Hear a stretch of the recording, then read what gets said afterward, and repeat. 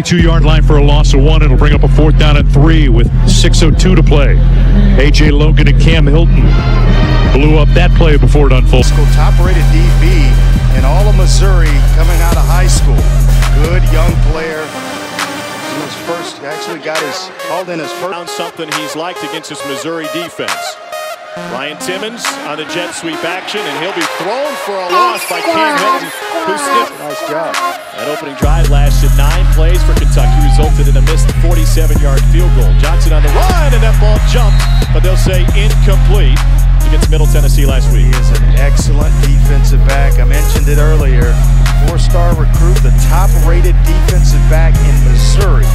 And he has tremendous range as were led directly to Middle Tennessee points. Johnson pulls the ball back, fires incomplete,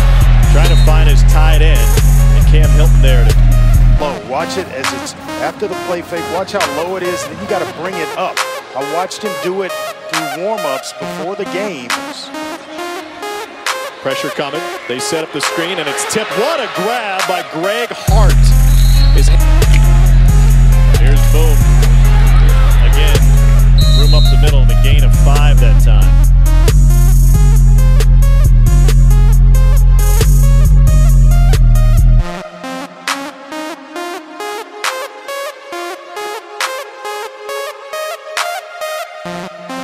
Inside the 10.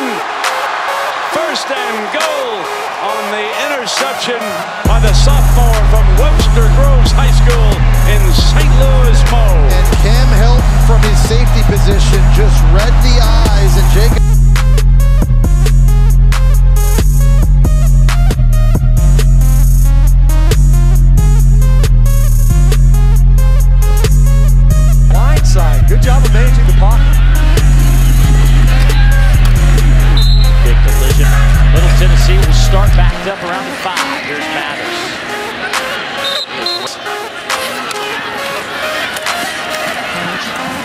with the carry down to the first. See if he can block. End zone. In It's just playing center field. He's back there the entire time. Luke Del Rio, very fortunate this was not his fifth interception. Cam Hilton was a Sims comes in motion right. Blasingame takes the snap, hitting the backfield. Is